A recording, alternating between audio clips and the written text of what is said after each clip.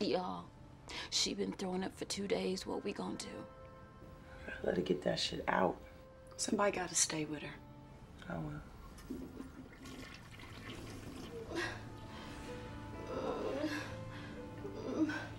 I saw Stevie's hair in the bathroom. I can't go. I can't go back in there. I don't want to go back in the bathroom too.